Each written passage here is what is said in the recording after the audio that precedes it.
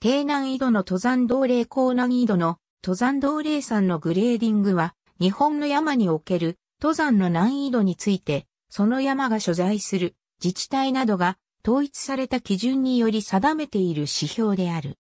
登山者が多い山域の各登山道について、通行に必要な体力と技術を数値化することで、その登山道の総合的な難易度を表すものである。登山者がこの情報を参考に、自分の力量に見合った山を選ぶことで、山岳遭難などの事故を防止することを目的としている。山ごとの難易度については、登山ガイドブックやインターネット上の登山情報サイトなどで、初級、中級、上級といった区分けがされている場合があるが、その基準はガイドブック著者などの主観によるところが大きく、客観的な指標ではない。そのため、同じ山でもガイドブックによって区分が異なる場合や、難易度を表す表現が統一されていない場合もある。また、同じ山であっても、出発する登山口や経由する登山道が異なれば、登山の難易度も変わる。一方で、山のグレーディングは各県ごとに公表されているものの、すべて同一の基準により難易度が評価されている。また、評価は登山道ごとのため、複数のルートがある山でそれぞれにグレーディングが公表されていれば、ルートごとの難易度に応じた登山計画を立てることもできる。最初に山のグレーディングを公表したのは2014年の長野県である。当時、登山ブームによる登山者の増加に伴い、山岳部や山岳会などに所属しない未組織登山者が多くなり、インターネットなどの情報をもとに独学で登山を始めた山の怖さを知らない初心者や、ブランクの後に登山を再開した体力の低下を意識しない中高年者が山岳遭難事故を起こす例が見られるようになっていた。日本アルプスや八ヶ岳などの著名な山域を要する長野県では発生した山岳遭難事故が2010年から4年連続で過去最多を更新し、2013年には300件を記録した。そこで長野県では登山者が自らの力量を超えた難易度の高い山で遭難事故を起こすことを防止するため山のグレーディングを策定し2014年6月に公開した。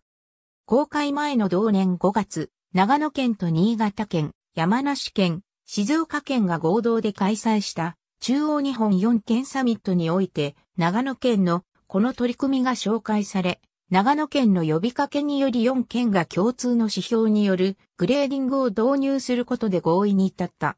2020年3月時点では、上記の4県を含む10県と1山系が山のグレーディングを公表している。2021年1月には評価の見直しがあったルートを再編集し、日本百名山のうち10県1山系の67山、200ルートを評価した登山、ルートグレーディングも公開された。また、県によっては、登山道をさらに複数区間に分け、区間ごとに評価したピッチマップも公開していることがある。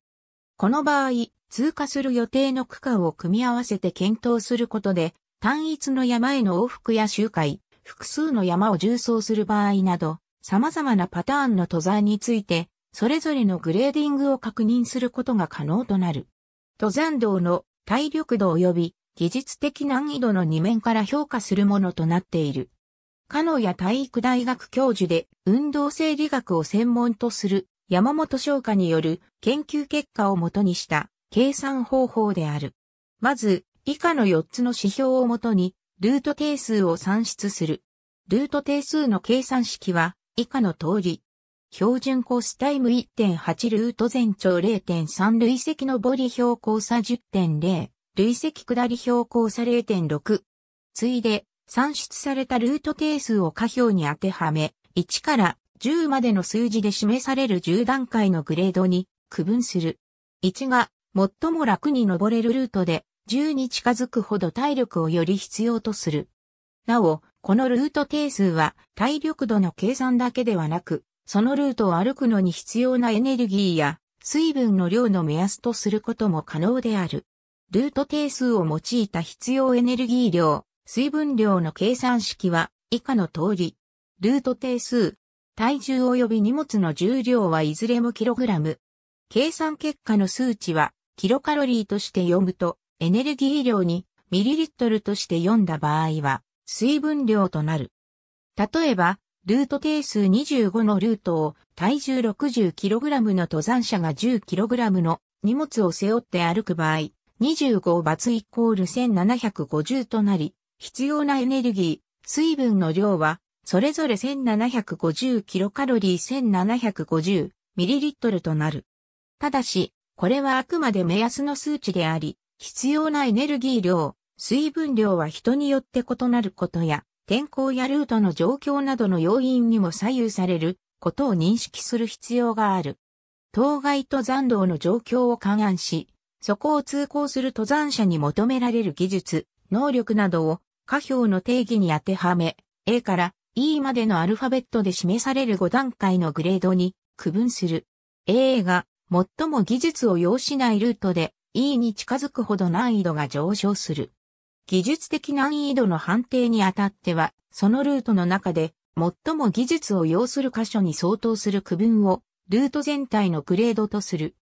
例えば、登り始めは整備された一本道の区間が続いていても、山頂手前で鎖場を通過するような場合は、そのルートは全体として C に区分される。長野県のグレーディングで参考として取り上げられている東京都の高尾山表参道のグレーディングは体力度2技術的な難易度 A とされている。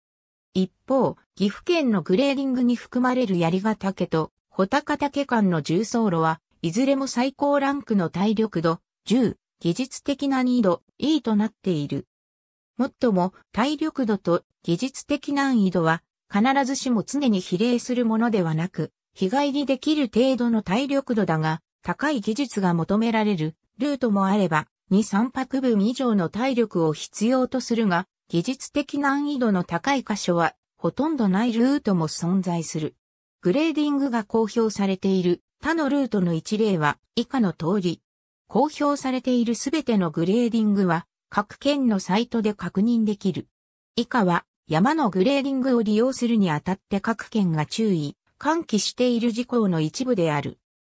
グレーディングを公表している各県では、過去に登った山のグレーディングを参考にする際は、過去の体力、技術はあくまで過去のものであることを認識し、現在の体力、技術に応じた山選びをすることや、初心者は難易度の低い山から登り始め、より難易度の高い山へと徐々に経験を積み重ねていくことを求めている。